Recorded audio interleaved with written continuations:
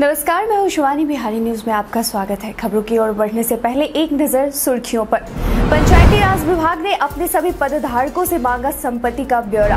इस दिन से होगी बिहार में अग्निवीरों के लिए बहाली प्रक्रिया शुरू।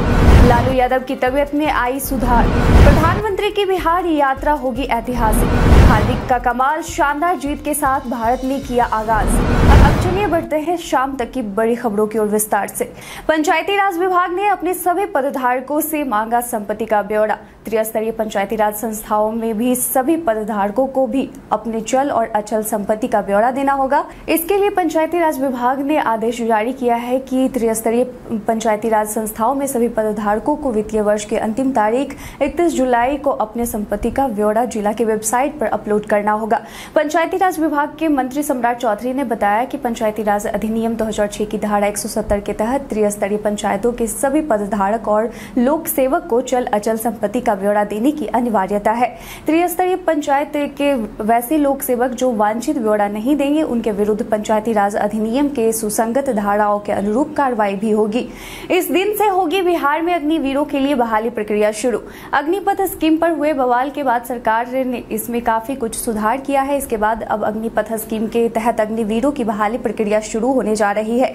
वैसे बिहार वासी जिनकी उम्र 17 से 23 वर्ष के बीच है और वो अपना कुछ समय देश सेवा के लिए लगाना पसंद करते हैं तो उनके लिए अच्छी खबर है। बिहार में अग्निवीरों के लिए आवेदन प्रक्रिया संभावित अक्टूबर महीने में शुरू होने जा रही है, जो कि दिसंबर तक चलेगी। शेड्यूल के अनुसार बिहार के जिलों के लिए बहाली प्रक्रिया सात अक्टूबर से शुरू होगी, जो बीस दिसंबर तक चलेगी। हालाँकि इस स्थिति में ज़रूरत के अनुसार बदलाव भी हो सकते हैं। हालाँकि यह संक्षिप्त जानकारी, इससे जुड़ी विस्तृत जानकारी के लिए या ऑनलाइन आवेदन करने के लिए ऑफिशियल वेबसाइट डब्ल्यू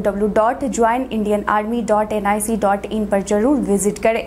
इन पाँच जिलों में आज भारी बारिश की आशंका। बिहार में मानसून कमज़ोर पड़ने से न्यूनतम तापमान में लगातार बढ़ोतरी देखी गई है। ज़्यादातर गया, औरंगाबाद, शेखपुरा, फारबिसगंज, कटिहार, नवादा, जमुई और मुजफ्फरपुर के लोग उमस और गर्मी से लोग परेशान हैं। हालाँकि इस बीच मौसम विभाग ने पूर्वी चंपारण, पश्चिमी चंपारण, अररिया, किशनगंज और सीतामढ़ी में भारी बारिश का अलर्ट जारी किया है। वहीं राजधानी पटना में भी आंशिक बादल छाए रहेंगे। यहाँ एक दो जगहों पर हल्की बारिश होने के आसार हैं। अन्य जिलों में फ़िलहाल बारिश की गतिविधि होने की संभावना कम है। मौसम विभाग ने शुक्रवार को सीतामढ़ी, बेतिया, मोतिहारी, किशनगंज और अररिया में एक दो जगहों पर भारी बारिश के आसार जताए हैं। 11 जुलाई के बाद राज्य में मानसून संबंधी गतिविधियाँ बढ़ने के आसार हैं। लालू प्रसाद यादव की तबीयत में आई सुधार। इन दिनों राजद सुप्रीमो लालू प्रसाद यादव की तबीयत खराब चल रही थी कि इस बीच राबड़ी आवास में गिरने की वजह से उनके कंधे में फ्रैक्चर आ गया। इसके बाद इलाज के दौरान दवाओं के डोज बढ़ने से उनकी तबीयत और भी खराब हो गई। हालाँकि अब वो ठीक है। लालू यादव के स्वास्थ्य संबंधी ताज़ा अपडेट के अनुसार वो अभी दिल्ली एम्स में अपना इलाज करवा रहे हैं। इस बीच उनकी बड़ी बेटी मीसा भारती लालू यादव के स्वास्थ्य संबंधी जानकारी देते हुए सोशल मीडिया अकाउंट पर कुछ तस्वीरें साझा की हैं, जिसमें लालू यादव पहले से काफ़ी बेहतर नज़र आ रहे हैं। वहीं मीसा भारती ने तस्वीर के साथ लिखा, आप सबकी दुआओं और एम्स दिल्ली की अच्छी चिकित्सीय देखरेख से आदरणीय श्री लालू प्रसाद जी की तबियत में काफ़ी सुधार है। 14 जुलाई से इन रूटों पर चलेगी छह जोड़ी स्पेशल ट्रेनें श्रावणी मेले पर रेलवे श्रद्धालुओं को सौगात देने जा रही है। चौदह जुलाई से शुरू होने जा रही श्रावणी मेले के शुभ अवसर पर भगवान शिव के भक्तों के लिए रेलवे ने बिहार से झारखंड जाने वाले रूट से छह जोड़ी स्पेशल ट्रेन चलाने का फैसला किया है। इन ट्रेनों में कुछ साप्ताहिक हैं तो कुछ प्रतिदिन और कुछ सप्ताह में महज पाँच और दो दिन चलने वाली ट्रेनें हैं। आपको बता दें कि इन ट्रेनों में आसनसोल, पटना आसनसोल, श्रावणी मेला स्पेशल, जो कि 15 जुलाई से 12 अगस्त तक प्रत्येक शुक्रवार, वहीं 12 जुलाई से 9 अगस्त तक प्रत्येक मंगलवार को ट्रेन चलेगी। इसके बाद आसनसोल, पटना आसनसोल सप्ताह में दो दिन गया जसीडीह, गया सप्ताह में पाँच दिन और पटना जसीडीह, पटना प्रतिदिन चलेगी। हालाँकि ये संक्षिप्त जानकारी है। आप इससे जुड़े विस्तृत जानकारी के लिए रेलवे के आधिकारिक वेबसाइट पर एक बार ज़रूर विज़िट करें। हाई कट ऑफ़ के साथ इस दिन आएगा सीईटी बीएड 2022 का रिज़ल्ट। बिहार में 6 जुलाई को हुई सीईटी बीएड संयुक्त प्रवेश परीक्षा का आयोजन किया गया था, जिसका रिज़ल्ट 23 जुलाई को जारी किया जाएगा। परीक्षा में आए सवालों के आधार पर माना जा रहा है कि सरकारी कॉलेजों में कट ऑफ़ 80 नंबरों से ज़्यादा आ सकती है। वही पटना यूनिवर्सिटी के भी दोनों कॉलेजों में बीएड में दाखिले के लिए हाई कट ऑफ़ ही चाहिए होगी। ये दोनों ही महिला आरक्षित बीएड कॉलेज है, जिनमें करीब दो सौ सीटें हैं। आपको बता दें कि सीईटी हज़ार बाईस के संयुक्त प्रवेश प्रवेश परीक्षा के लिए एक लाख इक्यानवे हज़ार नौ सौ उनतीस अभ्यर्थियों ने ऑनलाइन आवेदन जमा किया था। इसमें संतानवे हज़ार सात सौ अठारह महिला एवं चौरानवे हज़ार दो सौ ग्यारह पुरुष अभ्यर्थी शामिल रहे। अमेरिका के इस कॉलेज में पढ़ेंगे बिहार के ये महादलित छात्र। राजधानी पटना के फुलवाड़ी शरीफ के महादलित छात्र अब अमेरिका में जाकर शिक्षा ग्रहण करेंगे। मिली जानकारी के अनुसार फुलवाड़ी शरीफ में गुनपुरा गाँव के सत्रह वर्षीय महादलित छात्र प्रेम कुमार को अमेरिका के प्रतिष्ठित लॉ फाइट कॉलेज द्वारा स्नातक की डिग्री हासिल करने के लिए दो दशमलव पाँच करोड़ रुपए की छात्रवृत्ति मिली है। अमेरिका के प्रतिष्ठित लॉ फाइट कॉलेज ने छात्र को छात्रवृत्ति के रूप में ढाई करोड़ रुपए का अनुदान देने की घोषणा की है।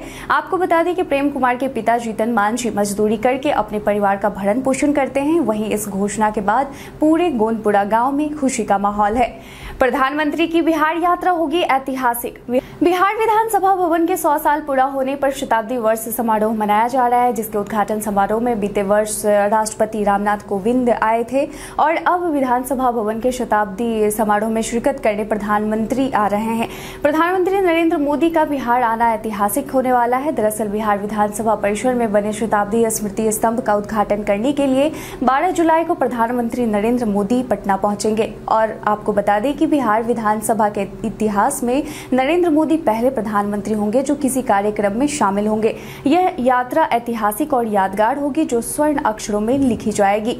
बकरीद को लेकर सुरक्षा हेतु तमाम सोशल मीडिया पर प्रशासन की रहेगी पैनी नज़र। मुस्लिम समुदाय के सबसे बड़े त्योहारों में से एक बकरीद का त्योहार इसी महीने की दस तारीख को मनाया जाने वाला है। ऐसे में बिहार की पुलिस प्रशासन अलर्ट मोड पर आ गई है। त्योहार शांति से संपन्न हो और इस बीच किसी भी तरह का कोई बवाल न मचे। इसके लिए पुलिस प्रशासन ने गली मोहल्ला चौक चौराहा सहित सोशल मीडिया पर भी नज़र रख रही है ताकि कोई भड़काऊ पोस्ट किसी भी अकाउंट से नहीं किए जाए। जिलों के डीएम और एसएसपी ने बीते दिन पदाधिकारियों के साथ बैठक की और इस बैठक में बकरीद पर कानून व्यवस्था बनाए रखने पर ज़ोर दिया गया। बिहार के सभी प्रमुख शहरों में बकरीद के दिन पुलिस बल की तैनाती की जाएगी। वहीं पटना समेत राज्य के विभिन्न शहरों में संवेदनशील इलाकों में पुलिस की सख्ती रहेगी। इनोवेटिव और बेस्ट आइडिया देने वाले छात्रों को किया जाएगा सम्मानित। बिहार में टाइम्स इंटरनेशनल की ओर से वर्ल्ड साइंस एग्जीबिशन दो हज़ार बाईस के लिए थी मॉडल का ऑनलाइन एग्जीबिशन और चयन साक्षात्कार 24 जुलाई को आयोजित किया जाएगा। वर्ल्ड साइंस एग्जीबिशन 2022 के इंडियन अम्बेसडर श्रेया घोष ने बताया कि साइंस के छात्र छात्राओं के बीच United Nations global sustainable development कार्यक्रम के प्रति जागरूकता लाने और लक्ष्य को प्राप्त करने के लिए यह किया जा रहा है। इसमें छात्र छात्रों में इनोवेटिव और बेस्ट आइडिया देने वालों को सम्मानित किया जाएगा। इच्छुक छात्र छात्राएँ world science exhibition at of the rate Gmail dot com पर निबंधन करा सकते हैं। नगर निकाय चुनाव में लग सकता है अभी भी दो महीने का वक्त। बिहार में अब जल्द ही निकाय चुनाव होने की संभावना है। निर्वाचन आयोग ने इसकी तैयारियाँ शुरू कर दी है। इसके लिए मतदान केंद्रों का गठन किया जा रहा है। इसके बाद पोलिंग बूथों की लिस्ट उनतीस अगस्त तक जारी होने की संभावना है। इसके बाद चुनाव की घोषणा भी कर दी जाएगी। इसके बाद चौदह अगस्त तक निर्वाचन आयोग की वेबसाइट पर बूथों की अपडेटेड सूची और वोटर लिस्ट भी जारी की जाएगी। इसके बाद फिर से मतदान केंद्रों का अनुमोदन किया जाएगा। आखिर में उनतीस अगस्त को पोलिंग पोलिंग बूथों की फाइनल लिस्ट भी जारी कर दी जाएगी। बंधुआ मजदूरों के पुनर्वास को लेकर मंत्री जीवेश मिश्रा का अहम निर्देश। श्रम संसाधन विभाग का कार्यालय अब ई ऑफ़िस में तब्दील होगा। आपको बता दें कि मंत्री जीवेश कुमार की अध्यक्षता में श्रम संसाधन विभाग की समीक्षा बैठक गुरुवार को हुई। इस बैठक में मंत्री जीवेश मिश्रा द्वारा सभी अधिकारियों को, विभागीय कार्यालय को पूर्णतः ई ऑफ़िस में परिवर्तित कर ससमय सभी कामगारों को लाभ दिए जाने के लिए निर्देश दिया गया है। साथ ही मंत्री ने बंधुआ मजदूर के पुनर्वास से संबंधित विषय को लेकर सभी सहायक श्रम अधीक्षक एवं उप श्रम अधीक्षक को निर्देशित किया है कि वे अपने स्तर से बंधुआ मजदूर पुनर्वास विषय पर गहनता से विचार करें। साथ ही इनसे संबंधित जो भी मामले न्यायालय में हैं, उसे जल्द निपटाकर उनके पुनर्वास को सुनिश्चित करें। आरसीपी सिंह का उद्देश्य जदयू को मज़बूत बनाना। आरसीपी सिंह इस्पात मंत्रालय का कार्यभार ज्योतिरादित्य सिंधिया को देने के बाद जब बिहार लौटे तो मीडिया ने उन्हें उनसे कई सवाल किए। इस बीच उन्होंने कहा कि वो जेडीयू को मज़बूत करने की दिशा में काम करेंगे, युवाओं को पार्टी से जोड़ेंगे, युवाओं को ट्रेनिंग देकर उन्हें रोज़गार के लिए सक्षम बनाएँगे। आरसीपी सिंह ने कहा कि नीतीश कुमार के नेतृत्व में जेडीयू को और आगे ले जाने का काम करेंगे। उन्होंने आगे कहा कि वे एक सीधे साधे आदमी हैं और हमेशा सीधे चलते हैं। उनकी किसी से कोई नाराज़गी नहीं है तथा जेडीयू को मज़बूत बनाने में उनकी महत्वपूर्ण भूमिका रही है। हार्दिक का कमाल शानदार जीत के साथ भारत ने किया आगाज़। भारतीय टीम ने इंग्लैंड के खिलाफ टी ट्वेंटी आई सीरीज़ का आगाज़ धमाकेदार जीत के साथ की है। गुरुवार को साउथहैम्पटन में खेले गए तीन मैचों की सीरीज़ के पहले टी ट्वेंटी आई मुकाबले में भारत ने इंग्लैंड को 50 रनों से हरा दिया। भारत की इस जीत की कहानी लिखी स्टार ऑलराउंडर हार्दिक पांड्या ने, जिन्होंने बल्ले और गेंद दोनों से बेहतरीन प्रदर्शन किया। इस ऑलराउंड प्रदर्शन के लिए उनको player of the match award से नवाजा गया। इस जीत के साथ भारत ने तीन मैचों की टी ट्वेंटी में एक ज़ीरो से बढ़त बना ली है। अब सीरीज़ का दूसरा मैच शनिवार 9 जुलाई को खेला जाएगा। भारत में कोरोना के 18,000 से ज़्यादा मामले आए सामने। भारत में कोरोना के मामलों में एक बार फिर से बढ़ोतरी देखी गई है। हेल्थ मिनिस्ट्री द्वारा जारी किए गए आज यानी शुक्रवार को ताज़ा अपडेट के अनुसार भारत में पिछले 24 घंटों में 18,815 नए कोविड मामले सामने आए हैं। पंद्रह लोग ठीक भी हुए हैं। वहीं इस संक्रमण से अड़तीस लोगों की जान भी गई है। सक्रिय मामले एक लाख बाईस हज़ार तीन सौ पैंतीस रिपोर्ट के मुताबिक देश में ठीक होने की दर अंठानवे दशमलव एक प्रतिशत है और डेली पॉजिटिव पॉजिटिविटी रेट चार दशमलव नौ छह प्रतिशत है। लगातार बढ़ रहे मामलों को देखते हुए सरकार भी अलर्ट है। इसके लिए कोरोना की जाँच और राष्ट्रव्यापी टीकाकरण अभियान तेज़ी से चलाया जा रहा है।